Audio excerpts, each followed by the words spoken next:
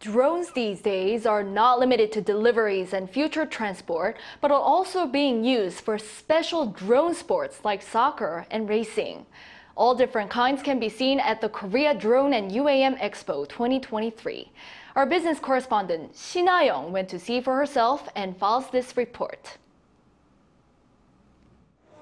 A drone that can fly and float on water can be used to transport cargo, water sports, and even help ships that have caught fire a search and rescue drone that has a flashing light and provides a life belt and an emergency kit.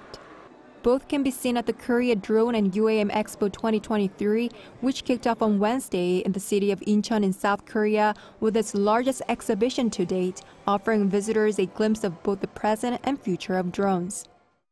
Under the theme of New Daily Life with drones and urban air mobility, the four-day event showcases not only the cutting-edge technologies of drone industry in South Korea, but also the country's status as a leading nation in drone leisure sports.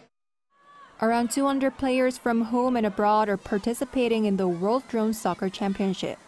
Also, there are opportunities for younger generations to participate in the youth competition. On the other side of the exhibition, racers from 15 countries are competing in the 2023 Korea Drone Racing World Cup. The race takes place around an advanced racing course equipped with automatic detection devices and IoT technology developed in South Korea.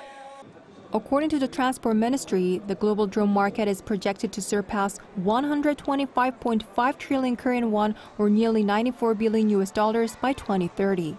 In particular, sectors like transportation and logistics are expected to grow the most.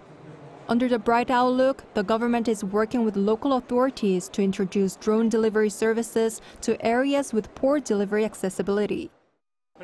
To commercialize drone delivery starting September, we will work together with local authorities to test drones in cities with a consideration of each city's geological features.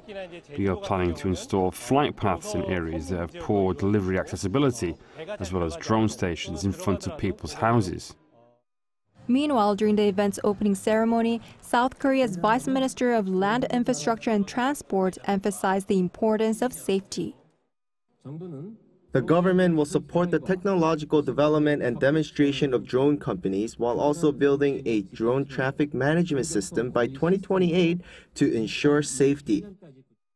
He added that it will improve regulations in line with the level of technological development to swiftly eliminate any barriers caused by unnecessary costs.